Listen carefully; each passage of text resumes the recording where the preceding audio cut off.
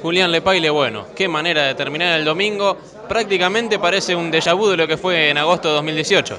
Sí, ¿cómo andás? Buenas tardes. La verdad que se volvió a dar el triunfo acá, otra vez clasificación serie final. Fue muy peleado. Eh, fue una gran carrera, la verdad que me llevo un lindo recuerdo acá por cómo se dio el triunfo esta vez. Y, y bueno, nada, a pensar ahora en la próxima carrera, que es una pista muy diferente, tratar de estar adelante nuevamente. Fue algo armado ya desde el viernes porque ya se mostró el auto muy contundente en los entrenamientos. Después al momento de clasificar confirmaste que, la contundencia y que el potencial estaba.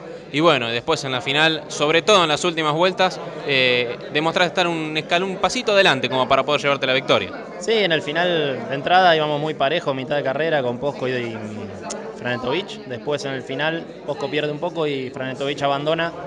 Y ahí se me, se me facilitó la cosa porque si no iba con Ever iba a ser muy peleado hasta el final.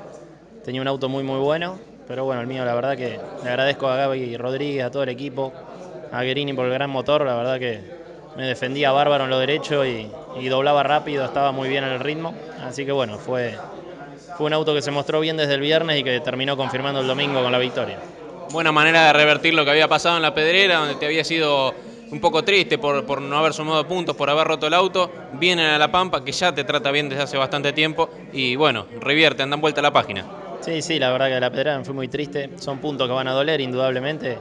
Tendría que haber arrancado saliendo aunque sea octavo décimo en la carrera y llevarme algo, pero bueno.